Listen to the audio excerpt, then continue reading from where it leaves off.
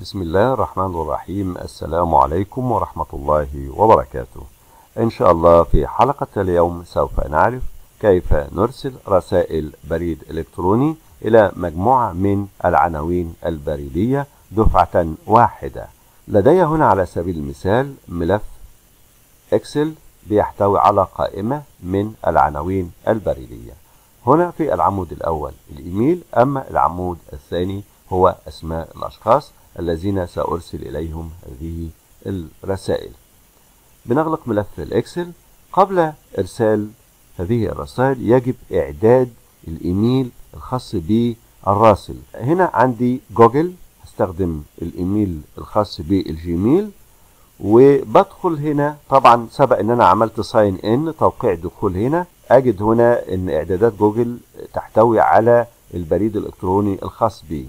بدخل هنا على my account.google.com security وأضغط هنا على enter من خلال المستعرض بدخل على security ال tab الخاص بال security واخد هنا وأنزل ل less secure app access يعني السماح بالوصول لتطبيقات أقل في الأمان لأن بيعتبر أي أكواد خارج منصة الجوجل هي أكواد يعني ممكن تستخدم لأغراض غير أمنية فأنا بديه less secure app أجد هنا هذه الخاصية افتراضيا غير مفعلة. أضغط هنا على off وأغيرها من off إلى on.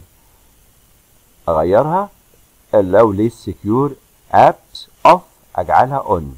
يعني اسمح للتطبيقات أقل أمان تستخدم الإيميل في إرسال رسائل بالبريد الالكتروني وأغلق المستعرض واتجه هنا للملف الذي يحتوي على هذه ال data البريد الإلكتروني وأضغط click يمين copy وأضغط على ال project tab و click هنا يمين وأختار paste لصق okay. وضعت الملف الذي يحتوي على عناوين البريد الإلكتروني داخل ملفات المشروع حتى يسهل استخدامه. بعد كده نضغط على terminal ونثبت مكتبة pandas بنكتب هنا pip install pandas ونضغط مفتاح الادخال enter لكي يقوم بتثبيت مكتبة pandas ويجب أن يكون ال system متصلا بالإنترنت. هنا اعطاني رسالة requirement already satisfied أي أن هذه المكتبة تم تثبيتها في جلسة عمل سابقة. نغلق نافذة ال terminal وبعدها بنستورد المكتبات التالية. في السطر الأول import pandas وبدها الالياس نيم بي دي في السطر الثاني import smtp library وهذه المكتبة خاصة بإرسال البريد الإلكتروني في السطر الثالث from email.mem.multipart import من multipart لأن هنا سأنشئ بريد إلكتروني متعدد الأقسام. في السطر الرابع from email.mime.text import mime text. في السطر السادس أكتب هنا اسم ال server server خاص بال Gmail server يساوي smtp.gmail.com بين single quotes في السطر السابع بكتب هنا اسم ال port الذي سوف يستخدم في إرسال الرسائل وهو ال port رقم 587 في السطر 8 from فبكتب هنا اسم إيميل الراسل الذي سوف يرسل هذه الرسائل عن طريق ال Gmail. وطبعا أنا سبق غيرت الإعدادات الخاصة به وهي إن هو يسمح بال less secure application تطبيقات الأقل امانا أن ترسل رسائل بريد إلكتروني باستخدام هذا ال username بعدها احدد ال password متغير خاص بال password بين single quotes وبعدها هنا احدد ال server يساوي smtp library dot smtp استخدم ال server الذي ادخلته في السطر رقم 6 واستخدم ال port في السطر رقم 7 وهو ال port رقم 587 في السطر رقم 12 أحدد مستوى ال debug level فبكتب server dot set debug level واحد. بعدها في السطر رقم 13 بكتب server استخدم dot EHLO استخدم هذه الخاصية. في السطر رقم 14 بكتب هنا server dot start TLS أي خاصة بال transport layer security يعني استخدام إما SSL أو استخدم اس ودي خاصة بعملية تشفير الرسائل وعمليات الأمان. في السطر رقم 15 server dot login. هنا اعمل خطوة الدخول login من خلال الإيميل اللي هو موجود في المتغير from وال password الموجودة في المتغير pass بعدها هنا في السطر رقم 17 email underscore list قائمة عناوين البريد الإلكتروني موجودة داخل ملف Excel فبستخدم هنا pd التي ترمز لمكتبة pandas وأستخدم منها ال method read Excel وأحدد هنا اسم الملف الذي سيقرأ منه قائمة البريد الإلكتروني وقائمة الأسماء. بعدها في السطر رقم 18 أفتح هنا متغير اسمه names يساوي email list. ال email list أضع بين square brackets أن يأخذ بياناته الخاصة بالأسماء column header الخاصة ب name. أي أن names هذه المتغيرات تأخذ القيم من العمود column header الخاص به name أما في السطر اللي بعده emails. هنا يأخذ ال emails أو بيانات الخاصة بالإيميل من المتغير email list من ال column header email أي أن يأخذ هذه القيم من هنا من الإيميل أي من هنا. في السطر اللي بعده رقم 21 أفتح متغير اسمه message وأستخدم هنا من multipart هذه ال feature الخاصية اللي هي أنا سبق عملت لها استيراد في السطر رقم 3 بعدها استخدم message وأفتح square brackets واحدد ال subject الموضوع الخاص بالرسالة invitation family دعوة لأعضاء الأسرة أو أعضاء العائلة family member meeting اد فور بوستمراديا في السطر 23 بحدد هذه الرسالة from من.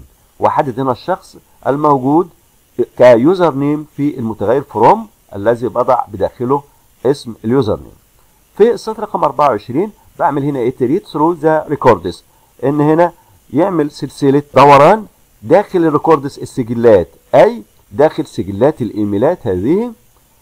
يعمل iterate يبدأ من الأول حتى نهاية السلسلة وكذلك في ال records الخاصة بالأسماء. بعدها في السطر رقم 25 بستخدم حلقة هنا looping داخل ال emails أي قائمة البريد الإلكتروني التي حددتها في السطر رقم 19 لكي يحصل على ال names الأسماء والإيميلات. فأفتح هنا متغير name يساوي names i يعني يحصل على المتغير name اسم كل صاحب بريد إلكتروني.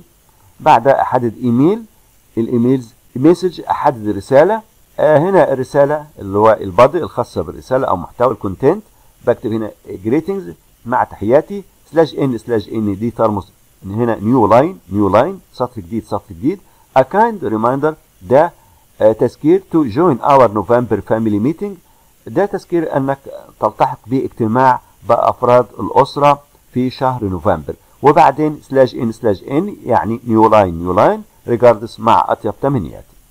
في السطر اللي بعده أعمل attach لل message فبكتب هنا message dot attach وأستخدم هنا ال MIMEText ال module الخاص بال MIMEText وألحق بها ال message الرسالة المكتوبة في السطر رقم 28 ك plain text. وأضع هنا بين single quotes plain يعني plain text يعني نص صريح. في السطر رقم 30 بكتب هنا server dot send email ارسل ايميل from from هنا بتحتوي على اسم ال username أو الايميل الخاص به وهنا الايميل سيرسل الايميل اللي أنا سبق حددته في الخطوات السابقة رقم 27 وبعدها message as string وأدخل هنا الرسالة كنص. بعدها هنا print email sent بعد الانتهاء من إرسال الإيميلات وتحدد هنا تعمل iterate في ال looping ده اكتب لي رسالة هنا email sent بعدها نقفل ال server فبنكتب هنا server dot close لنجرب هذا الكود نضغط على run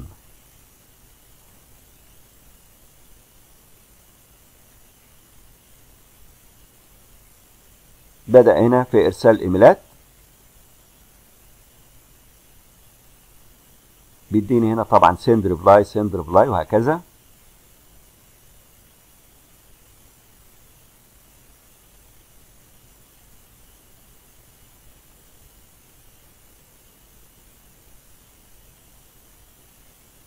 أعطاني هنا إيميل send. أي تم إرسال إيميلات لكل القائمة الموجودة داخل ملف الإكسل أرسل إليهم رسالة واحدة لجميع الإيميلات الموجودة ك package كدفعة واحدة لنرى ذلك بنفتح مستعرض جوجل لكي أتأكد من إرسال الرسائل. أفتح جوجل ونذهب منه إلى الجيميل. نضغط هنا على send. نفتح هنا أحد الإيميلات لكي نتأكد من إرسال الرسائل. Greetings a kind reminder to join our November family meeting. Regards مع تحياتي ده كان بالنسبة لإرسال رسائل بريد إلكتروني. إن شاء الله سأضع لك رابط هذا الكود في وصف الفيديو إن شاء الله حتى يمكن إرسال رسائل بريد إلكتروني. إلى مجموعة من الأفراد package مرة واحدة في مجال خاص بالدعاية والإعلان أو التواصل أو عقد اجتماعات لجمعية عمومية أو غيره من الأغراض الخاصة بالتواصل. السلام عليكم ورحمة الله وبركاته.